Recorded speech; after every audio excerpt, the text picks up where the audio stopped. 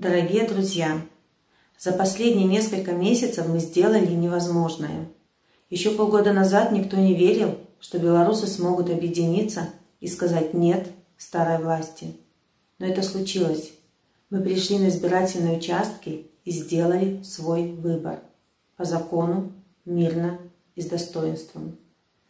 Я хочу сказать спасибо тем людям, которые были рядом со мной, моей команде – штабам Валерия Цыпкала и Виктора Бабарика.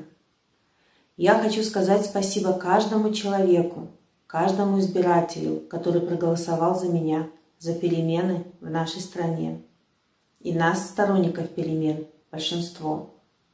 Этому есть документальное подтверждение, копии протоколов.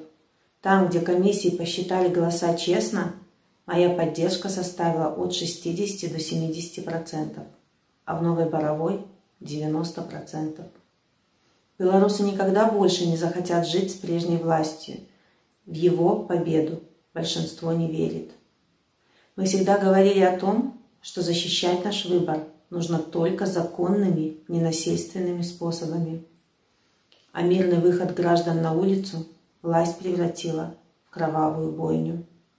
Ситуация критическая. Я с болью смотрю на то, что происходит в нашей стране в последние дни. Для меня, и я уверена для каждого из нас, сторонников перемен, человеческая жизнь – это самое ценное. Нам нужно остановить насилие на улицах белорусских городов. Я призываю власть прекратить это и пойти на диалог. Я прошу всех мэров городов 15 и 16 августа выступить организаторами мирных массовых собраний в каждом городе. На улицах наших городов появляются новые мирные акции, цепи солидарности женщин с цветами, абсолютно не воинственные. Они показывают всему миру, что мы, белорусы, открытые, честные люди, и мы против насилия. Я благодарю сотрудников, которые отказались выполнять преступные приказы против своих граждан.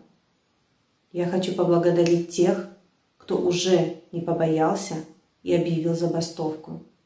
Спасибо работникам БМЗ, электротехнического завода, МАЗ, IT-компаниям из ПВТ и другим коллективам, кто присоединился.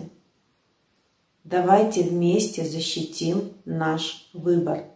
Подпишитесь за то, что вы голосовали за меня, Светлану Тихановскую. Ссылка будет под видео. Пожалуйста, не оставайтесь в стороне. Наши голоса должны быть услышаны.